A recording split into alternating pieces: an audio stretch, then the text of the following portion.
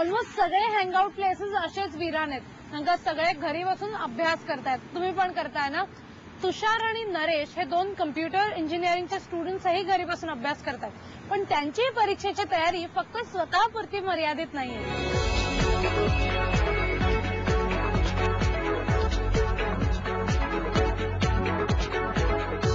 कॉफीचं addiction आणि परीक्षेचं वाढतं टेन्शन रात्रीचा दिवस आणि दिवसाची रात्र. एकवीस वर्षाच्या तुषार आणि नरेशचं हे कम्प्युटर इंजिनिअरिंगचं शेवटचं वर्ष आहे.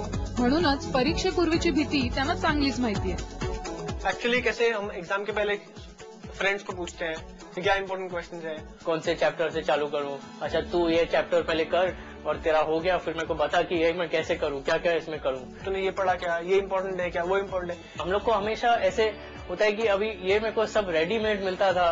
तो मुझे इतना मेहनत करने की जरूरत नहीं पड़ती थी। आपणच सगळ्या भावी कम्प्युटर इंजिनियर्ससाठीही मेहनत करायची असं त्यांनी ठरवलं. बिकॉज हम लोग खुद ये, ये तकलीफ से गुजरे हैं इसलिए हम लोग कुछ स्टूडेंट्स के लिए करना चाहते हैं। आणि याच चहामधून सुरू झालं student पब्लिकेशनचं question paper handbook this is for the students and it is by the students तो इसलिए हम लोग ने स्टूडेंट्स पब्लिकेशन इस पे नाम रखा है। प्रत्येक धड्याचे परीक्षेत आलेले प्रश्न त्यांनी एकत्र केले. क्वेश्चन पेपर जेरोक्स मारना और हमेशा फिर वो टाइम कंज्यूम हो जाता तो ये बुक की वैल्यू इसके एनालिसिस में ही है। एनालिसिस इस बुक का यूएसपी है। पण आता तुषार आणि नरेश शोधतायत जाहिराती. हे स्टुडंट पब्लिकेशन खिशाला परवडेबल करण्यासाठी.